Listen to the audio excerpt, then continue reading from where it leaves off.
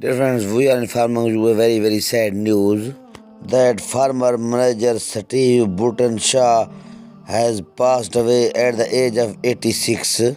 For more detail, please subscribe our channel and press bell icon.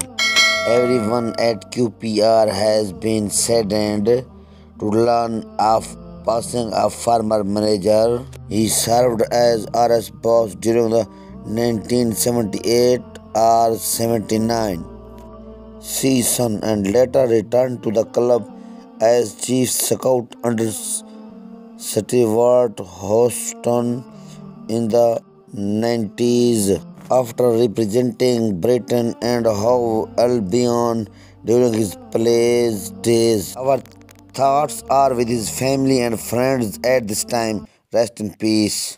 Steve